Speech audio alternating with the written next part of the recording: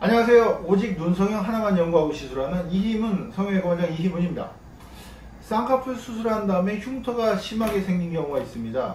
그런 경우에 재수술이 가능할까요? 재수술로 교정이 어, 쌍꺼풀 흉터를 없애고 자연스러운 눈으로 교정이 가능할까요? 물론 가능합니다.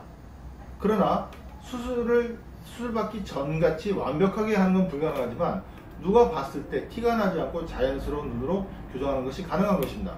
이런 분들은 흉터가 지금 심하게 남은 상태입니다. 수술한 다음에 이렇게 흉터를 없애고 교정은 바로 직후 사진입니다. 수술한 지 일주일도 안 되는 사진인데요. 이렇게 어, 수술한 지 충분히 흉터가 무르익지 않은 경우에도 재수술을 하는 경우가 있습니다.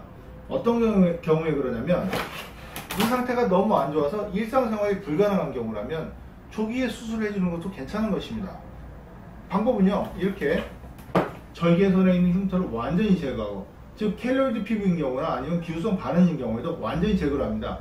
그 두께는 2, 3mm 정도는 충분하고요. 어, 2, 3mm 정도 제거해 갖고는 이 눈의 그런 탄력성, 그 늘어지는 정도가 충분히 받쳐주기 때문에 흉터를 제거하고 봉합을 해도 아무 문제 없이 이렇게 교정이 가능한 것입니다.